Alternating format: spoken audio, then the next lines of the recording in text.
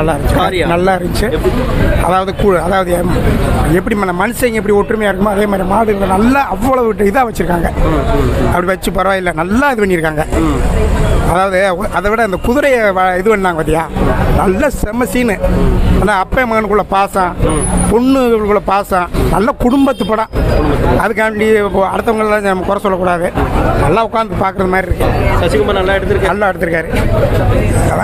நல்லா? இருந்துச்சு. நல்லா இருந்துச்சு.